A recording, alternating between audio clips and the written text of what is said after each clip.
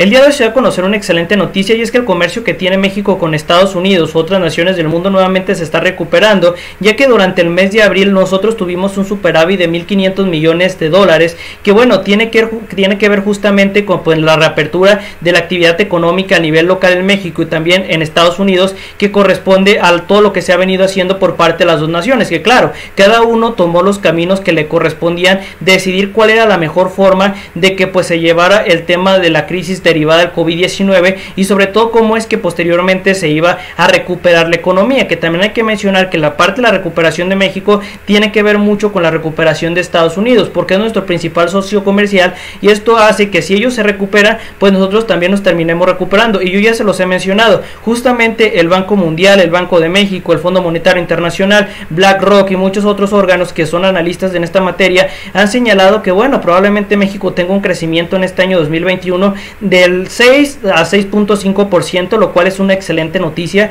y que bueno, nos llevaría a pensar de que las cosas vamos saliendo justamente del hoyo, que la economía no está no está parada como lo quieren ver, lo quieren hacer ver algunos personajes de la oposición y que lo están haciendo pues ver así porque a lo mejor ellos tienen determinados intereses que pues te van a inventar cualquier cuento chino con el objetivo de que a lo mejor tú ellos obtengan un tipo de beneficio en términos electorales. Ahora bien, si nosotros nos vamos justamente a las cifras, tenemos que eh, en el apartado de, exportaciones, México logró un monto de poco más de 40 mil millones de dólares. O sea, son montos bastante importantes. Y en el caso de importaciones, México logró un monto de, eh, incluso aquí lo, eh, aquí lo tenemos, de eh, poco más de 39 mil millones de dólares. Es justamente esta diferencia que es lo que tenemos de 1.500 millones de dólares, que es el superávit. Ahora bien, los, los montos o los porcentajes de crecimiento estamos viendo que son bastante relevantes dentro de estas gráficas porque los datos nos indican incluso arriba del 70%. Eh, y por tal motivo, a ver, yo lo que diría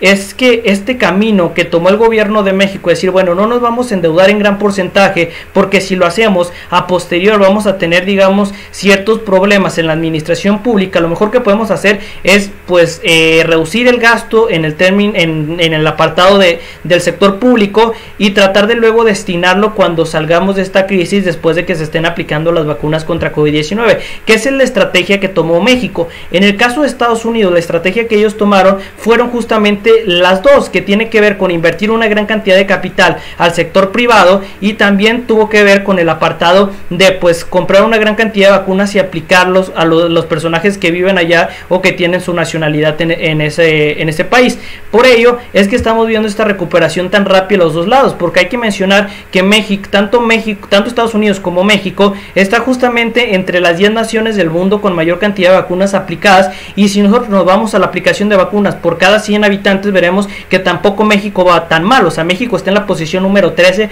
de 193 países. Estas cifras lo que reflejan es que el camino es el correcto. Que le repito, todavía falta bastante brecha por recorrer. Por supuesto que sí, venimos de una crisis económica derivada de una pandemia que lo que llevó es que a toda actividad económica en México pues se viniera abajo. Y a ver, esos eh, que les encanta decir de la oposición es que es que este gobierno hace las cosas mal y bla bla. A ver, veníamos de una crisis y antes de que incluso llegara la crisis muchos es que ya hubo caída económica antes de la crisis. Sí, pero precisamente porque el sector empresarial y los políticos corruptos de México hicieron una campaña a nivel internacional para decir que si él llegaba al poder íbamos a ser Venezuela. Por tal motivo fue que durante esos, ese primer año pues tuvimos un crecimiento o básicamente no tuvimos crecimiento. Luego llegó la pandemia y ahí sí nos eh, llegó a joder. Pero ahora lo que estamos viendo es que también México entró al top 10 de países eh, con mayor inversión extranjera directa. ¿Esto qué significa? Que tenemos recuperación por donde tú quieras ver, que claramente los opositores no quieran ver esto, pues eso va desde su percepción. Y a ver, no está mal, no está bien, eso ya le corresponde a cada persona decir, a ver, es que yo opino que este partido hace mejor las cosas, yo opino que este lo hace de otra forma mejor. Pues bueno, eso ya le corresponde a cada quien, pero que es completamente falso lo que está diciendo a lo mejor Claudio X González, Gustavo de Hoyos, el PRI, el PAN, el PRD, que es que ya somos Venezuela, ya mañana nos, no se van a usar autos de combustión interna y puras tonterías que la verdad se sacan no sé de dónde, probablemente de sus cabecitas muy reducidas, que bueno, no son tan reducidas. El problema es que estos personajes tratan de manipular la, la, la verdad o tratan de manipular las realidades conforme mejor le correspondan, porque una cosa es cierta, las matemáticas, en la estadística siempre puedes encontrar el punto bueno y punto malo, porque son valores matemáticos que tienen una interpretación con respecto a algo. ¿Esto qué significa? Que si tú haces una comparación con algo que puede llegar a ser a lo mejor era mejor que lo que tú obtuviste, pues era, era malo, pero si haces una comparación con una realidad que tienes actualmente, pues entonces quiere decir que es buena. Por tal motivo es que yo les digo que esos personajes distorsionan un poco las realidades, pero les digo, o sea, no es que estemos ni súper bien ni tampoco estemos súper mal, vamos saliendo de una crisis económica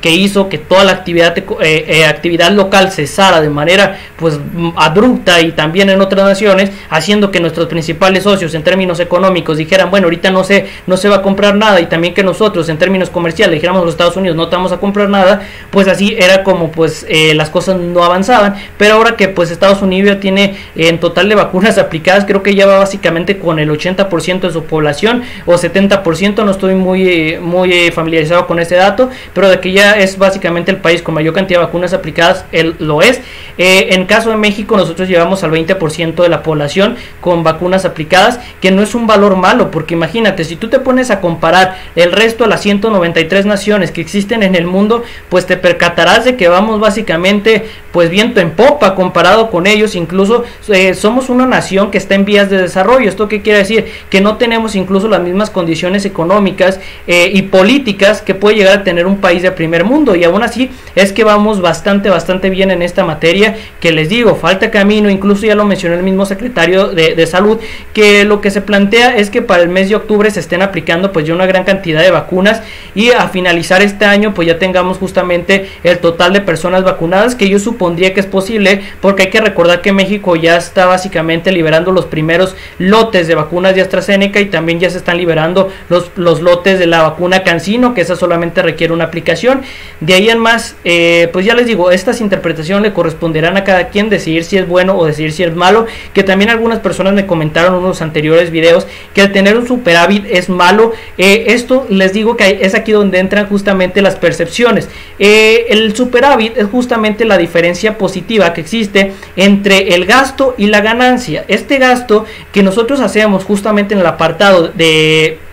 de importaciones, que es lo que nosotros compramos a gringos, otras naciones, y lo traemos, y justamente lo que nosotros mandamos a, los gringos o otras naciones del mundo, es lo que nosotros vemos, que existe un superávit bastante grande, eh, puede significar a lo mejor una debilidad en la actividad económica interna, y eso sí es una realidad, pero que los números ya se van ajustando eh, con una realidad pues bastante importante que tiene que ver con el apartado que la actividad económica interna en México ya está recuperando, pues las cifras de superávit ya no son tan separadas unas de otras. Estamos viendo que ya nos estamos regularizando en esa materia y que nos vamos a seguir regularizando en el resto eh, que pues que, queda. ¿Y esto por qué? Porque bueno, ya tenemos las vacunas contra COVID-19, solamente falta esperar la mayor cantidad de aplicación de las mismas. Y pues si ayer más no me queda otra cosa que mencionar, más que si esta información les agradó, me puedes dejar un like, un comentario, suscribirse y nada. Nos veremos muy pronto, muchas gracias por ver esto y hasta luego y adiós.